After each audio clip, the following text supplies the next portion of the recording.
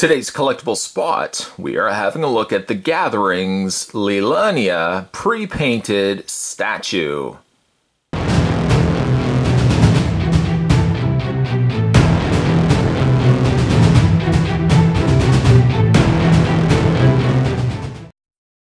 This is product code PF9719, and Spot picked this up from the folks over at E2046.com. You probably have seen several reviews already on this channel where we've looked at different statues that you can get from that website. I'll put the link down below if you guys are interested in getting some anime goodies. And I say goodies because they really have a cool selection of stuff over on E2046, one of which being the category marked The Gathering. And The Gathering essentially is uh, the category of statues where they have painted it for you. Saves you having to go in there if you don't have any skill set like myself uh, you can go to that category on the website and select from a selection of different statues that are already pre-painted so you don't have to worry about painting in getting all that stuff uh, going. So we're going to have a look at the Lelenia pre-painted 1-6 statue. Uh, the box is basically the same as what we've seen with other uh, Gathering and uh, 2046 releases. Inside the box, you can see a slight image of what the Lelenia pre-painted statue is going to look like down below. www.e2046.com is the website you want to check out. Other than that, the box is pretty much standard. It's the same style of box as we've seen with other reviews. Spot's going to take a break. I'm going to get this opened up. And when we come back, we're going to get a better look at the 1/6th Lelenia pre-painted statue. There's more your way, guys. Don't go anywhere. To come included with Lelenia that is the correct pronunciation of the statue, and I do apologize if that not be the case. Uh, you do get yourself a assembly guide showing the PF9719 product code up the top corner, the website down below, e2046.com. Only three components, only the base, the very large broadsword, and the statue itself. Very, very easily uh, to assemble. It's not like the uh, the Belldandy that we just recently had a look at where there was multiple components that you had to put together and you had to be very careful. These at least you have only really three components. One of which being this really neat display stand featuring a snowy uh, backdrop or snowy floor front there. There's two peg holes where the statue will peg into place. You've got a couple of little rock little rock sculptures there. They've given a slight icy blue finish to it as well, as opposed to just making it simply all white. There's the underside of the base. It's a slight departure from other um, statues that we've looked at on this channel where they tend to just have a very, very neutral circular base. We've seen that with a couple of different examples.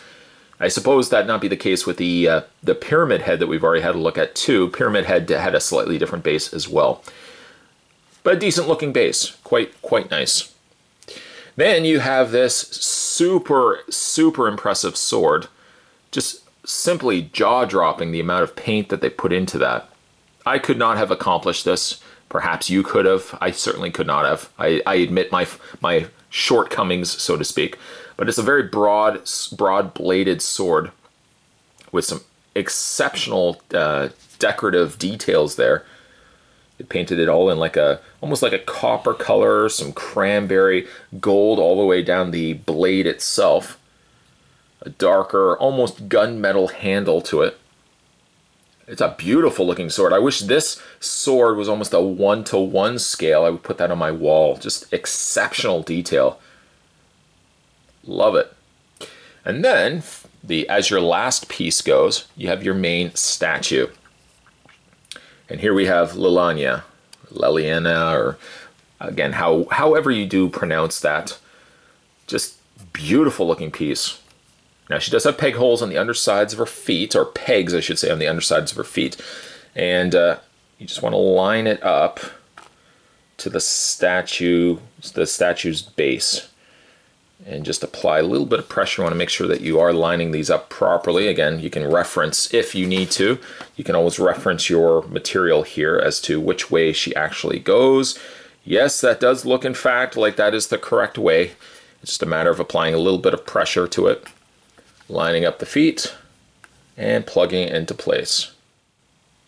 Once you get that in place, go ahead and take the sword, and the sword you want to just kind of slightly twist until you get the handle, the shorter end of the handle, wrapped around or in between her fingers and her thumb. It's not the easiest, granted, to get that in place, especially, and you might even want to find yourself, there we go, might want to even find yourself moving the statue slightly just to kind of get it all in there. And that, right there, there we go. That is the finished piece. I guess you can just compensate, there we go. Adjust the, the broadsword until you've got it just right.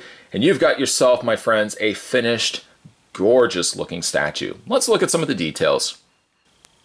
The choice of colors that they gave the statue is, I personally just love. It's It seems like a combination of uh, very pearl metallic blues, uh, very like silvers, golds, and stuff like that of that nature.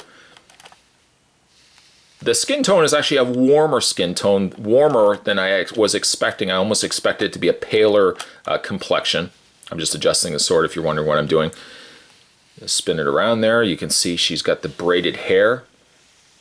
I'm surprised also to find that they've, looks like they've added a bit of metallicness to the braids, which on paper sounds like that could be jarring, but surprisingly it seems to work with the rest of the armor that they have on her. Just bring the camera back a little bit. All this phenomenal detail. Let's bring the camera down. There we go. All the phenomenal detail on the skirt the, I guess, plated skirt portion of her armor.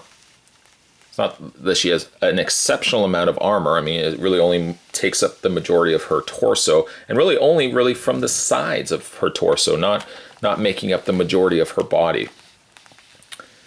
She's also got uh, her hand posed up, quite certain the, the gesture that she's indicating but it's a very stoic stance. I do like that a lot. I really especially like the portion areas of her lower legs. But it reads almost slightly uh, a purplish, almost gunmetal silver.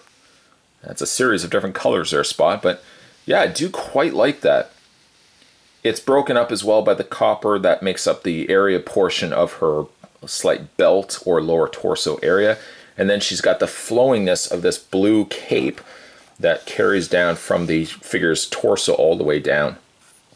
One thing I do want to point out though is that the statue doesn't seem to sit all that properly into the display stand. I think the culprit is while the first foot is firmly planted into the hole area, I feel like the back hole of the display stand isn't actually as recessed as it should be uh, the resulting is that the back foot doesn't sit as infirm of a place as the front of the foot, or the front foot, I should say.